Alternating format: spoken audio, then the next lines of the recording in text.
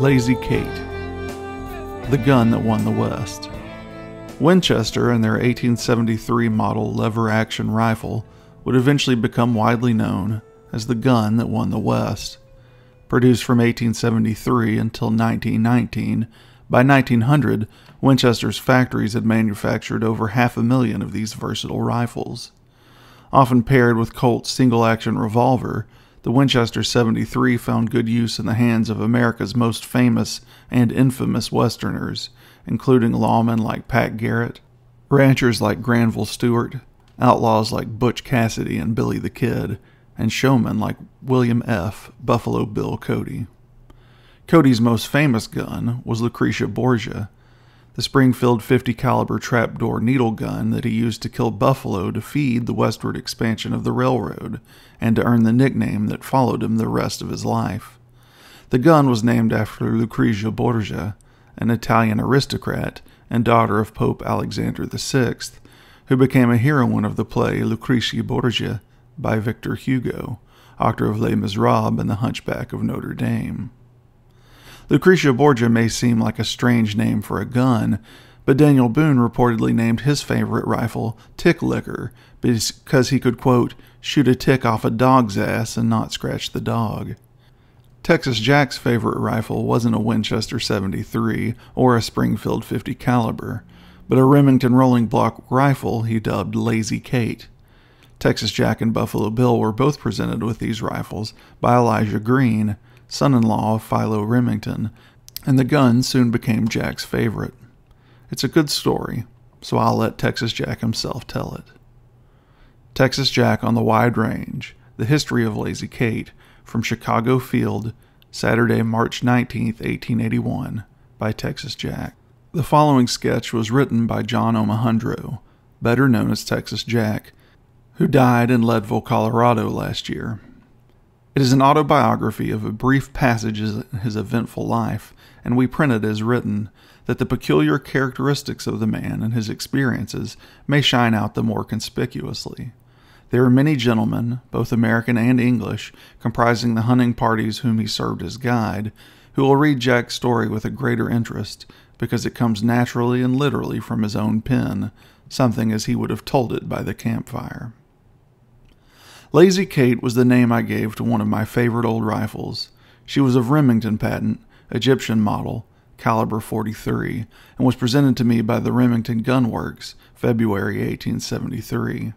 She was beautifully gold mounted, and at first I thought her too pretty to be of much real service, but I found my mistake in after years. I first used her on the stage. She made her debut at Niblo's Garden, New York, and for several months after she received her equal share of banging and pounding around behind the scenes, such as all articles have to receive that in that part of the theater.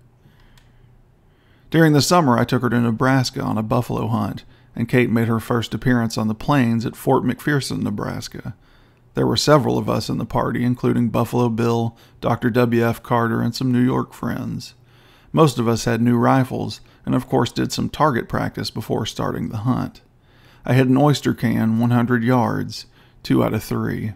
That was good enough, and it was right there and then that I went dead stuck on Kate and christened her Lazy Kate because I couldn't work her quite so fast as some of the boys could their repeating rifles. A few days' ride brought us among the buffaloes, and with a little maneuvering, I got my New York friends right in the midst of a large herd, some three or four hundred head. At a signal, they were off, buffalo and hunters all together, it was fun to see the New York fellows popping and banging among the buffaloes just like old timers. I hung back to see them go. I expected to see some of the boys go over their ponies' heads, but they didn't, and I began to think it was time to do a little something myself, if only to keep up appearances, when an old bull broke off from the herd all by himself. I at once gave chase, and was surprised to see Dr. Carver come swooping down from another direction after the same bull. He was some 100 yards to my right, and the buffalo about the same distance in front of us. Now came the race for a shot. I yelled, pounded, and spurred, and so did Doc, but it was no use. The old bull's legs were a little too long for our ponies, and we couldn't gain an inch. This was kept up for a mile or more when I decided to try him one anyway. Doc followed suit. I fired again, and Doc gave him another, By this time, the bull had disappeared over a bank, and when we came up to the place, the old fellow had turned up his toes down by a little pond of water. Our shooting had been good, for three out of the four shots had taken effect. Our ponies were red hot, and mine made a straight dive for the water. Alkali or no alkali, he was bound to have a drink. I was bound he shouldn't. When near the edge, he reared up on his hind feet, twisted around, and came over backward right on top of me. Not on me, but poor Kate, kerflummox in the mud hole. I thought she was all broke up, sure, but when I fished her out and washed the mud off, she was sound and pretty as ever. I brought her back to the States and put her in the show business again. We had a long season, went as far south as Galveston, Texas, using the old rifle and firing blanks nearly every night. About this time, there was a call for the riflemen of the United States to come forward and form a team at Creedmoor, New York. I was the first to enlist, and intended to use Lazy Kate in the match, and should have done so, only for a previous engagement with the Earl of Dunraven to accompany him as guide to Montana, which came just in the way of meeting for practice. I hadn't tried Kate at long range yet, and after sending my name for the team, I went out one day and had some of the boys set up a New York Herald stretched between two sticks in the ground as a target, at a guess distance of 1,000 yards. I overshot twice, lowered my sights to 900, and struck it on the third time. Lazy Kate was dragged around with me until I joined the Earl in Denver City. In July of 74, I went to Fort Bridger, Utah, but had bad luck for three weeks we went there. I moved on to Salt Lake and thence to Corinne. Here we stuck it rough for Kate as well as the rest of the outfit. Being literally shook to pieces for four days and nights in a stagecoach is no light usage on either man or things, and of all the things I ever saw going on our hunt, they were mixed up in that coach. We struck Bozeman City on time, and I soon rigged a pack train to go up the Yellowstone River to the government park. Now came the tug of war against poor Kate and the rest of the guns. Most of us had light, short rifles to use on the saddle in the thick timber, whilst the heavier ones were assigned to the packs. Kate was heavyweight and had to ride on a pack mule, and many's the time I seen one end of her going over a limb that had grown out a little too low, whilst the mule and the rest of the pack would go under. Then came the standoff between Kate and the mule. If nothing gave way, Kate got the best of it, and the mule hung fire until we came up. But when the belly band busted and lash ropes gave way, Kate generally went back about 20 feet on the trail, and the mule straight on, stringing out the rest of the pack. Sometimes the mule would try to go under a log that had fallen a little too low. Kate was sure to strike it dead center, set the mule back a peg or two, and then all was right again. Nothing seemed to hurt that gun. She was always ready to shoot when I wanted her. One day I sent a ball through three antelope grazing by a lake, fortunately for us, as we'd been out of meat four or five days. But that wasn't where the laugh came in. I shot at the bunch and didn't know that I'd hit them all, as the rest of the band ran right toward me, and I was hurried reloading, fired again, and crippled another. It was badly hurt, but made off fast and was soon out of sight. Here, think I, is a pretty rough case, no meat today without a race. So I jumped my old pony and struck off like I'd been shot out of a musket. I soon came up to near the antelope, but the country was rough, full of little ridges, and every time I went over one, he was just going over the next. I put on all steam now. My pony put his foot in a badger hole. He swapped ends, and so did I, and the Lord knows what poor Kate done. After gathering myself up and catching the pony, I found her come twenty feet from where we'd gotten the tumble, lying on those loose stones all right. I returned to the lake to find Bottler, my assistant guide, butchering one antelope, and two others lying near. I'd evidently killed all three with that first shot. Some two weeks after this, I came pretty near going back on Kate. We'd been bear hunting several days without success, when late one rainy afternoon, I came on to a large grizzly feeding on some elk we'd killed the day before. It was rather dark in the line sapling thicket, and I got pretty near before I caught sight of him. Gosh, but he was a thumper. I at once looked about for a tree to climb in case of an accident. There was one nearby, and about the only one in the thicket that had a limb nearer than forty feet to the ground. I left my hat, boots, and coats at the root of it, and crawled down within eighty yards of the bear.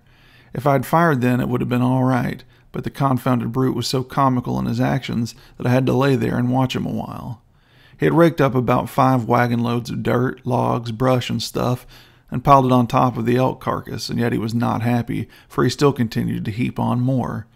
It was growing dark, and the rain began to fall faster.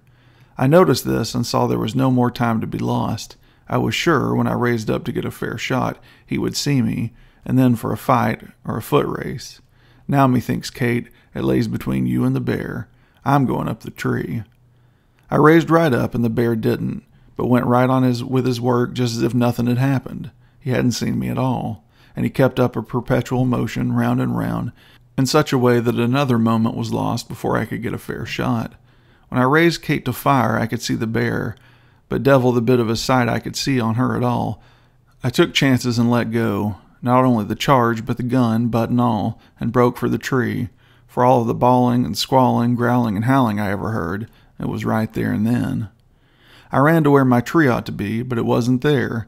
Not a tree I could get a hold of a limb in it at all, and I didn't think I'd have one left on me in two seconds more. When the racket suddenly ceased, I looked around only to see Bruin shuffling off in another direction. I had missed my tree by twenty yards, and like never to have found Kate. I believe I would have fought a bear dead earnest then, after one was plumb out of sight, for I was riled up and mad enough at Kate to have broken her back. But she redeemed herself three days after. I tied her to a log near another elk carcass a little further up the mountain and fastened a string to the trigger in such a way that, by touching the string, she would go off at the object that touched it. And that's just what she done, for the next morning there lay Mr. Bear, not ten feet from Kate, with a hole through his head half as big as my fist. It was the same bear I'd wounded three days before. My ball had entered the shoulder and passed through the chest too low down. But this wasn't the end of Kate's troubles on that trip, or mine either. We quit the bear business soon after and took to the rocks after mountain sheep. I brought Kate east and used her another long season on the stage and took her one more trip to the plains. She did great service, always shot well, and never failed fire but a few times, and one of these few I was mighty glad of, as I would have killed an Indian or a bad white man, which amounts to about the same thing.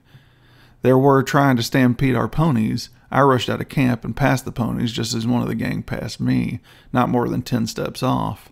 It was dark, but I think I would have given him a pretty close call if Kate hadn't throwed off on me. She was all right until last winter. While playing an engagement in Boston, I let her fall lightly on the stage, as I had hundreds of times before, when her stock broke square off or nearly so. I felt kind of superstitious about it then, and do yet, as I've never had a day's luck on stage since. But I roped her up with a buckskin string and used her a while. The Remingtons kindly offered to restock her for me, but I refused. It was no use. Lazy Kate had seen her day, the same as we've all seen or will have to see. I laid her quietly away in a property box, which served as her coffin in the Howard Athenaeum in Boston until this winter, when the box was set outside and the deep snow covered it. When I dug her up, poor Kate was all rusted inside and worse broke up than ever. I took her back to Remington's gun store in Broadway, New York, where I'd gotten her six years ago, and there she will remain as a relic, perhaps, so long as the works may last.